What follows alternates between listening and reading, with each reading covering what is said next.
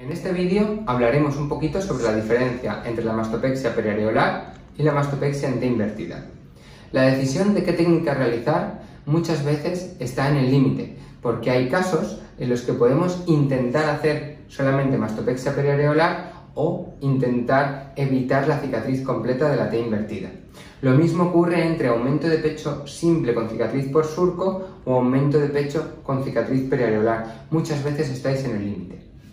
Entonces, en este caso vamos a hablar de entre periareolar y T invertida. La ventaja principal de la mastopexia periareolar es que la cicatriz solamente va a ir alrededor de la areola, mientras que la ventaja principal de la T invertida es que por lo general la calidad de la cicatriz de la areola y de la vertical, así como la de abajo, va a ser mejor que la de la periareolar. ¿Por qué? Porque cuando hacemos una mastopexia periareolar, toda la distribución de la tensión va a estar adaptada solamente alrededor de la areola. Pongamos un caso en el que nos sobran unos 4 centímetros cuadrados de piel.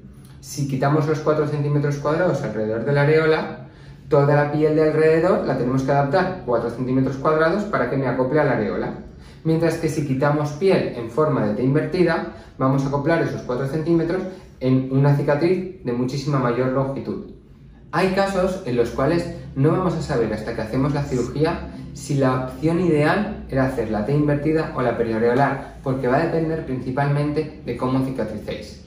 Entonces, por lo general, siempre abogamos, en consenso con vosotras, por apostar por llevar la periareolar hasta el máximo posible, porque a tiempo de realizar una T invertida siempre vamos a estar. Siempre puedo decir, bueno, como la cicatriz periareolar está herniándose, está dándose de sí, está ensanchándose, vamos a apostar por la cicatriz eh, en T invertida. Siempre podemos dar ese siguiente paso.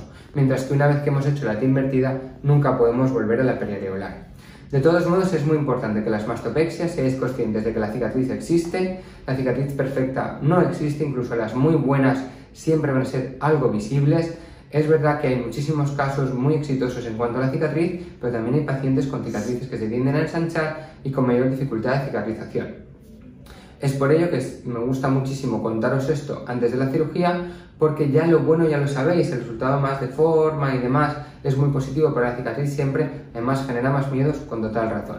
Sí que es importante que sepáis que en torno a los seis meses o el año podemos retocar esta cicatriz, conseguir que sea menos visible y que se produzca un poquito menos, pero va a depender muchísimo de nuestra forma de cicatrizar, lo podemos hacer con dermapen, con láser, retocando la propia eh, cicatriz con cirugía o haciendo otro tipo de tratamiento que nos permita que mejore.